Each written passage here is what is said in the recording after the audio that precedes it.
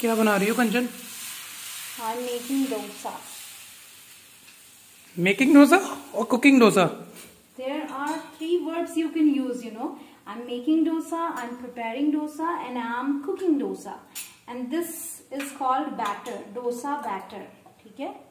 इसे हम बैटर बोलते हैं। जो घोल होता है किसी भी चीज़ का घोल हो B T T E R better B A T T E R batter not better no not better it's batter I hope की नेक्स्ट टाइम जब आप अपने घर में बनाएँगे you will call it batter and you will call that I am preparing dosa I am making dosa and I am cooking dosa